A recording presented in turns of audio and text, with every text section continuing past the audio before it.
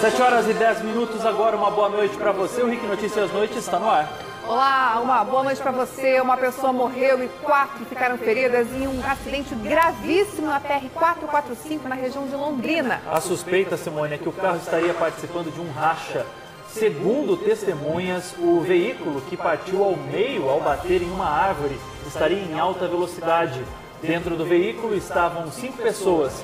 O motorista, de 25 anos, morreu na hora. Entre os feridos estava inclusive um bebê de apenas nove meses de idade que sobreviveu. A polícia investiga se o carro estaria participando de um racha. E tem muito mais hoje. Esse é o RIC Notícias Noite.